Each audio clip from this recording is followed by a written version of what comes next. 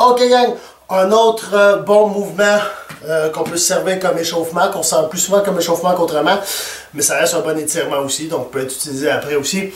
Euh, ça va être le Russian Baby Maker. L'objectif est simple, vous avez vos pieds, largeur de vos hanches, largeur de vos hanches et de vos épaules à peu près.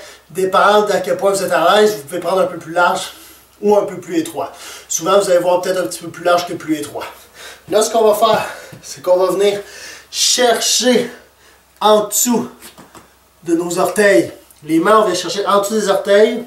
Et là, ce que je fais, c'est que je vais fléchir le corps, poussant mes genoux vers l'extérieur. On voit que mes coudes peuvent servir pour essayer d'aider à justement pousser si j'ai de la misère à ouvrir les genoux puis ça reste toujours serré.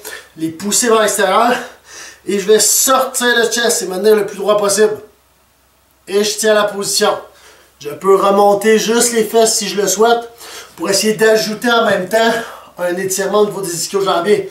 Je pourrais faire ça comme ceci et rabaisser ensuite en position droite et remonter pour étirer. Mais la base du Russian Baby Maker, c'est pas la force du haut que je monte mes fesses, c'est vraiment de se concentrer à mettre les mains dessous, à donner une posture plus droite, chest sorti. Fait qu'on peut tenir ça un bon 5-10 secondes, relâcher et refaire la position pour essayer. Vous allez sentir principalement à l'intérieur de la hanche, du flexeur de la hanche, tirer. Fait que dans la sortez le chest le plus possible. Poussez contre votre corps, poussez contre vos genoux.